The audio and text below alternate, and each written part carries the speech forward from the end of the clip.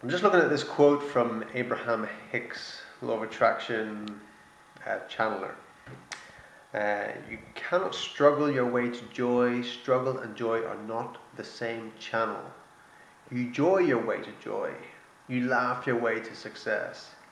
It is through your joy that good things come. Abraham. And you know, I, I love the teachings of Abraham. I actually went and, and saw them live uh, once, and it, it, was powerful. It, it, definitely, I came away uplifted from it, and I find it, I do find it very, very uplifting. A lot of their stuff. Um, what, what I find is it's difficult for a lot of people. A lot of people see that, and they, but there's nothing to grasp onto. There's no strategy there, and uh, and and what I find is it, it doesn't work so much. It doesn't work so much. You know, struggle is is not a bad thing. People think they're struggling and they think they're bad or in the, they're in the wrong place or they should be joyous and they shouldn't be struggling and they should be grateful and they're not grateful and then they beat themselves up for it and all this sort of stuff. And, and my experience is that when I look back, and this, I find the struggles have strengthened me. The struggles I've had in my life, they, they've strengthened me. They, they've made me reach deep down inside myself and bring out um, you know, a being of myself that I, I didn't know existed, you know. So it's really been through the struggles that I have been forged. Who I am right now, I've been forged through my struggles. Um, and so, so when I read that, it's, I, I, don't make a full connection to it. Even though I like it, it sounds nice, and I do get something from Abraham Hicks. Um, I am uplifted by it in, in a way. Uh, there's, there's just a, a slight disconnect there.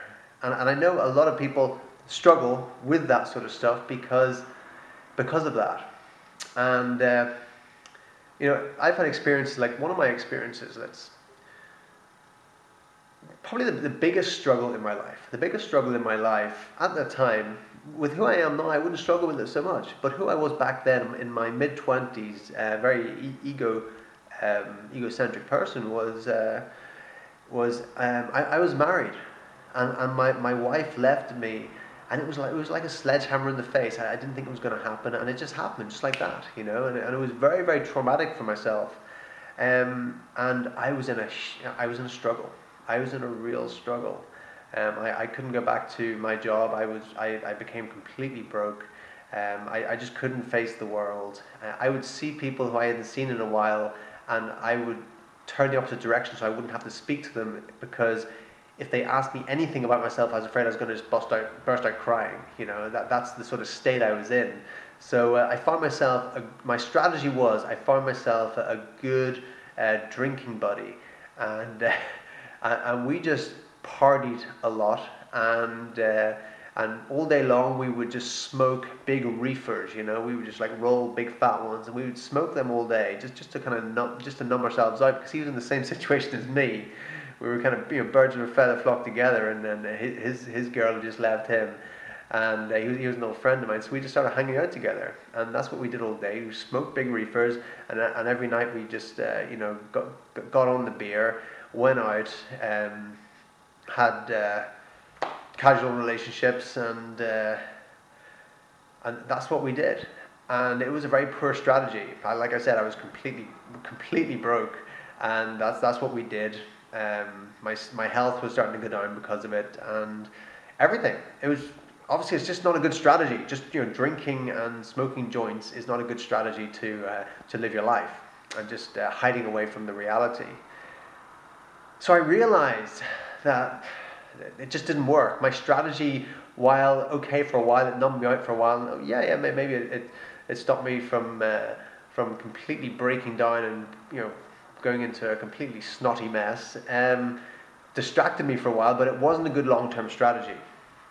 So what worked? What worked when I struggled was I changed my strategy and I got to work. And when you're struggling, here's the thing: get to work, and that's what I did. I went and I got a job as a steel erector, one of the most physically demanding jobs and dangerous jobs as well. And I would work 13 hours a day on, um, on this huge site. And I could be like eight stories high, holding on to this piece of steel that weighs 30 tons. and clamping it together with another one. Being you have to be very, very present. I didn't, I didn't have any time to be in my victimhood, my poor me, what had happened to me, because I had to be very present. Because I could lose my fingers like that when I'm taking a 30 ton piece of steel and clamping it together another one, getting bolts this size and screwing them in. Um, it was it was a very very physically demanding job and a very dangerous job. You have to be very very present, or else you could die, or else you could get your fingers cut off, or whatever, you know. And uh, so and so, so I did that. And then on the weekends, I worked as a bouncer. Again, I, I, I, I, channeled my struggles. You know, I worked as a bouncer, so I was in confrontations all the time and having to deal with them in this very centered way. And then every night I went to the gym. I went to the gym and I just pumped iron. So I struggled in the gym. I, I channeled my struggles into better things, into work. I, I, I, I got stronger than ever at the time. I, I was pumping weights, putting it all in there every time I went into the gym. And that's what I did. And when I wasn't in the gym and when I wasn't working and when I wasn't, you know, in the nightclub working as a bouncer, I was reading and listening to audios. I was reading personal development books and I was listening to personal development audios to try and sort my head out, you know, try and sort myself out, to try and get a new perspective on life. And I, I, that's what I did for, for a year, just constantly and suddenly I made I made my money back and I, I because I was just working 60 70 hours a week I wasn't spending any money I was saving a ton of money paying off my debts and uh, got my body strong again really strong. And then that, that, that I did that for a year. And then the next year I, opened up my own business which a successful business I, I bought a house.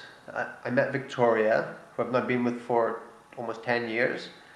Um, and uh, and that that was a great year. That was a great year, and it, it was only a great year, is because I was struggling, and instead of in my struggle go okay, I'm just going to sit here and feel joy instead, and I'm gonna I'm gonna get joy from feeling joy. I said no, I'm gonna have a strategy to channel my struggles into something, and I just worked my ass off with a strategy, and that's what did it. That's what did it. That's what brought me to a place of joy, was channeling my struggles and working my ass off. And you know that's the thing that's maybe missing from the law of attraction is that thing called work. If she, she just took that, they just took that, that, that quote there, just clamped into the middle, stamped on it, work your ass off as well to, to joy. You can actually do it. You can work your ass off to joy, I believe me. Uh, you channel your struggles. Instead of sitting there in your victimhood, whatever struggle you're going through right now, whatever you're struggling with, you know, struggle forward and have a strategy, create a strategy. And, and that's what I did, and that's how I changed my life. Is I focused my energy, I channeled my struggles. Instead of sitting there and drowning my sorrows, um, well, I did that for a little while. Um, instead of doing that long term, um, I saw that it wasn't working. It wasn't a workable strategy long term, and so then I made a change, and that change worked. So there you go, law of attraction, all great. Just stamp work your ass off in the middle of it, and it really works very well. Okay, thanks for watching. See you later.